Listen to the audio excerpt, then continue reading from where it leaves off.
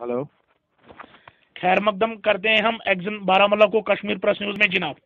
जनाब सलामकुम सलामकुम अ, जनाब बारामूला से लगातार हमें फ़ोन कॉल महसूल हो रहे हैं। उनका ये कहना है कि खीटंग एक एरिया है जेके बैंक जेके बैंक से लेकर खीटंग तक जो ड्रेनेज सिस्टम है वो टोटली डैमेज्ड है सर उनका ये भी कहना है कि पाँच सरपंच के साथ साथ आवाम भी जब आपके ऑफ़िस पे आते हैं यकीन जानी उनको मिलती है मगर उसके बाद उस पर काम शुरू क्यों नहीं किया जाता है? तफसीलात के साथ सर हम जानना चाहते हैं।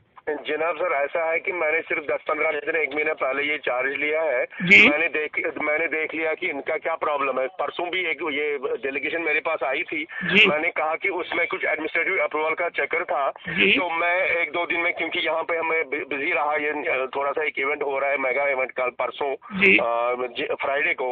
उसके बाद मैंने भी कंसर्न एडब्ल्यू से बात करी है। उसको मैंने बोला कि इसका काम शुरू क्यों नहीं हो पा रहा है? अब मैं एक दो दिन में आप नेक्स्ट वीक से मैं इसको देख लेता हूँ कि अगर काम कुछ और कोई मसला ना हो तो इसका काम इंशाल्लाह शुरू हो जाएगा। और आवाम का ये भी इल्ज़ाम है कि वहाँ से जो रोड बह रहा है, रोड पे पानी बह रहा है, जिसकी वजह से लोगों को आने जाने में काफ़ी मुश्किलों का सामना करना पड़ रहा है। जनाब मसला ये है कि मैंने पानी का ये कर लिया होता लेकिन ड्रेनेज की वजह से ड्रेन जब तक उसका पक्का कोई निकास ना हो पानी का तो उसमें ऐसा कुछ नहीं हो सकता। जब तक नहीं पूरी ऐसी कुछ ड्रेन ड्रेनेज का सिस्टम चले तभी वो चल सकता है। मैं देख लेता हूँ एक दो दिन में जितना भी हो सके वो कर देंगे।